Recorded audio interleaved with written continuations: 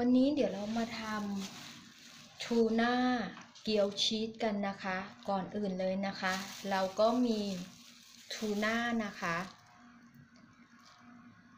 หนึ่งถ้วย แบบนี้นะคะ แล้วก็มี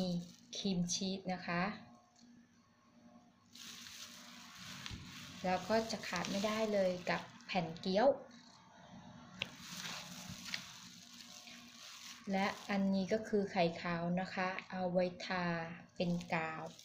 ให้ตัวเกี๊ยวติดกันนะคะ